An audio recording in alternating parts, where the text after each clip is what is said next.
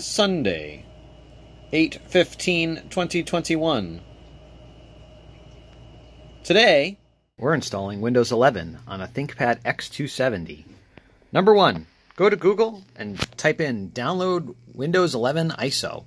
You'll probably find this Tom's Hardware article that will tell you how to do it. Basically, you go on this website, uupdump.net, and you select the latest dev channel build for the platform that you're looking for.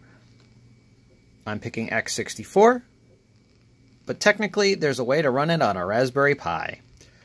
We're going to be downloading this and selecting just Windows 10 Pro. And next. And sure, go ahead and install the .NET and do some cleanup and it's set to download and convert to ISO. So we click down, create download package, and it downloads.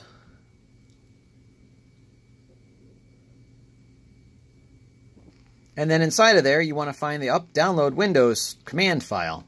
Double click on that guy, and it's going to complain. And so you say more information, and you say run anyway. And then this thing runs for a while. I forgot to mention, you were supposed to uh, extract it to a folder first and then run it. Um, but once you run it, it runs for like, I don't know, an hour or so, you'll have an ISO file. And then you can take that ISO file, run your handy Rufus application, plug in your old Windows 10 installation disk,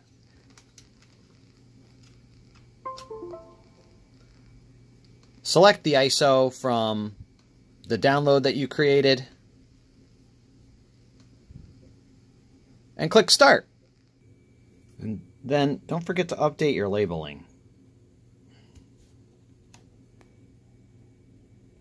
Say goodbye to Windows 10. Shut down your computer. And plug in your flash drive. Now, for this next step, may it may vary from computer to computer.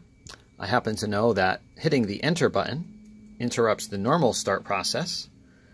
And I'm asked, what do I want to do? So I'm going to say F12 to select a temporary boot disk. And there's my USB SanDisk. Now it's booting off of the flash drive. Well, it doesn't look like much has changed here. So we'll select United States, because that's where we're at. And we'll click Install Now. Come on, buddy. Now, because this had Windows 10 on it, what I actually want to do is erase everything. So if you're at this point, you're going to lose everything that's already on this laptop. Just keep that in mind uh, if you follow this exact steps that I go through. So I'm going to say accept, and I'm going to do a custom install. And basically that just allows me to make one modification here. I'm going to select these, and I'm going to click delete on all of the partitions because I want to I want to delete the old Windows 10 stuff and I don't need anything else. If you aren't comfortable doing this, then don't do it. You can stop. You know, it's always good to have a backup of all your information and everything. All right, we're going to let it uh, install. Wow, that was uh, about two minutes. And we're booting again. First time booting Windows 11.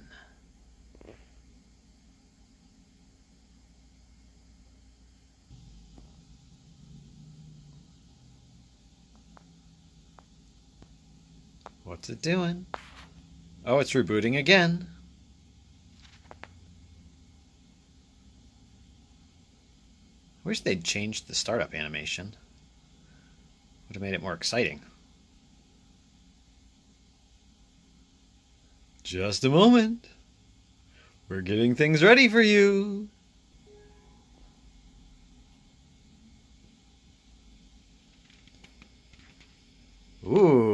Fanciness. All right.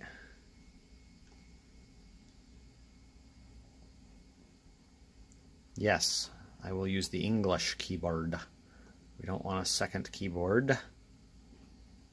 Sorry about the screen flicker there. Actually, I want the one right here.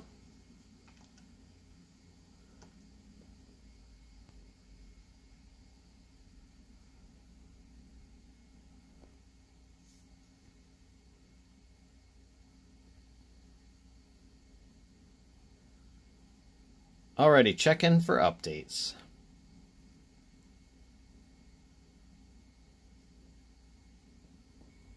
Let's name your PC. So X270. Keep it uh, simple.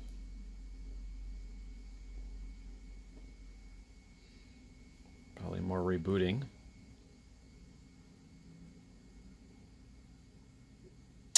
Another reboot.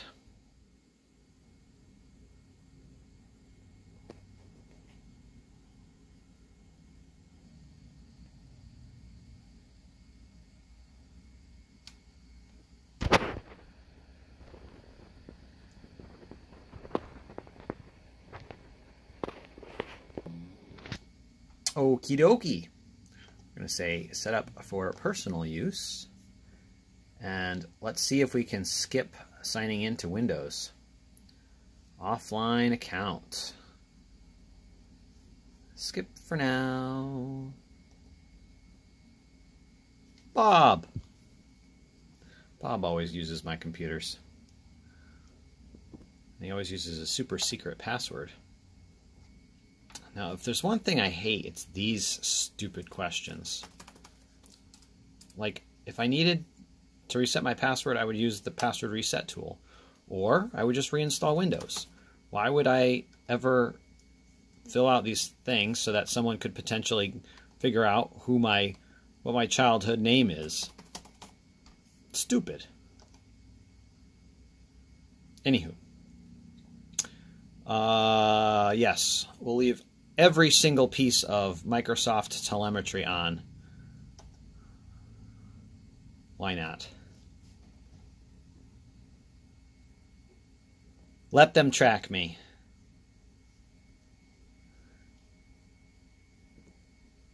Hi. Well, hello there, Windows 11. So all in all, I mean, we're probably about 10 minutes into uh, the install. Post an hour download, of course.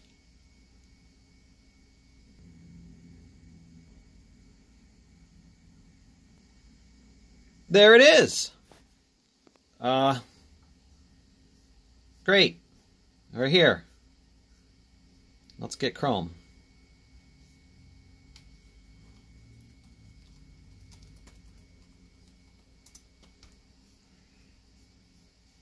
Okay, so number one, Edge is saying, Don't leave me. Oh, what the hell is this fresh hell? Ugh. Get out of the way, you stupid Edge thing. I'm done. I'm not going to use you, Edge. Take me back to my download page. Download. Chrome. Download now. I mean, the new Edge is fairly usable, but it's not what I want. I just want the same experience. This is just a glorified browser in my mind.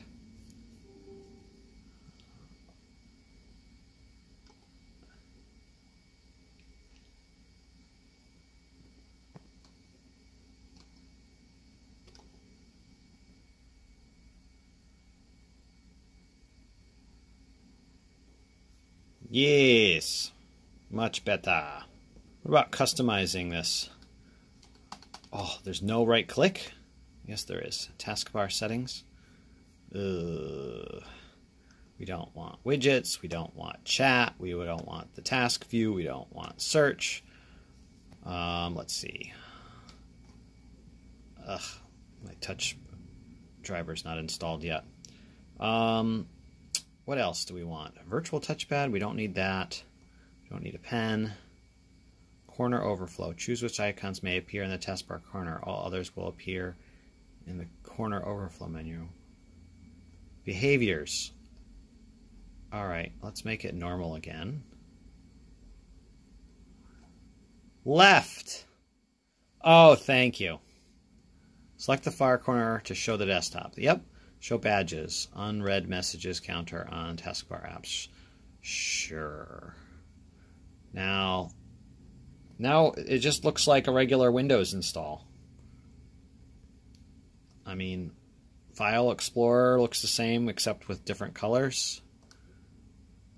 Uh, let's see if they've removed some of the traditional management. Like, can you still get to the control panel? The standard way. Control panel. And it looks exactly the same with different icons. Uh, what about can I run a command by hitting start? So sysdm.cpl should bring up the system dialog. Yay, they didn't break it. Um, so this is how I usually go about manually joining a machine to a domain. Um, let's do ncpa.cpl. Beautiful, that works. Just like normal, go into your network connections. Um, well, that's quite convenient. I think all they've changed is the colors. Let's personalize it, make it pretty. Let's go with uh, this darker theme. That looks nice. And let's see, can we get rid of notifications and action settings the same way?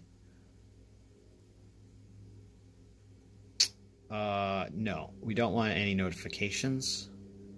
And notifications from apps, they're all gone. Get rid of suggestions and tips. And what settings are do we want? We actually don't want any any notifications at all. So I think that's we'll see if we can disable that or not. Um, but but up but up. There's like a little moon down here. What does the moon mean? Clear all of these.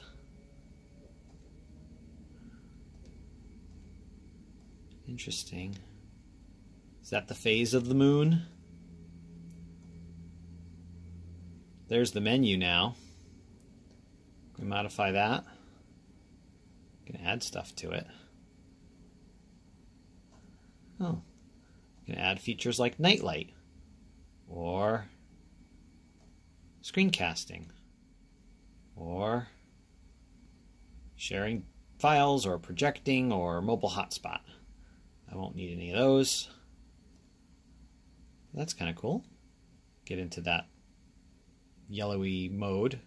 Battery saver, airplane mode, Bluetooth wireless. There's our wireless menu. Um, adjust date and time. So right now it is 11:34, so that's fine. Yeah, this is great. It, it already even figured out where I was at. And if I do updates,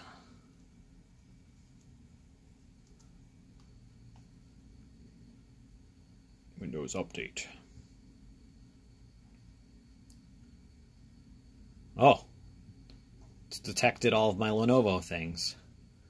So we'll go ahead and do all those.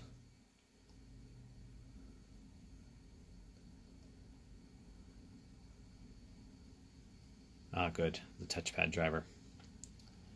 This is beautiful. It's just picking up everything. And it looks like we got a restart.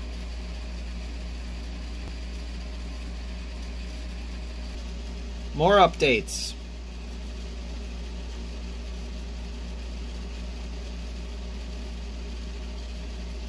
More rebooting.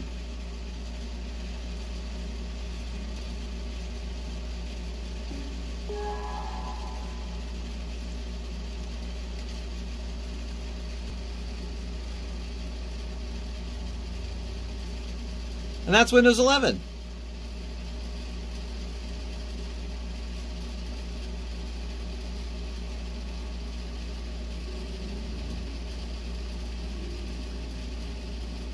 Windows 11 Pro 21H2. Well, that's slightly suspicious because that's the same. Is that not the same thing as 10? Uh, no, I'm running 20H2 on this other one. Windows 11! Woo! Subscribe!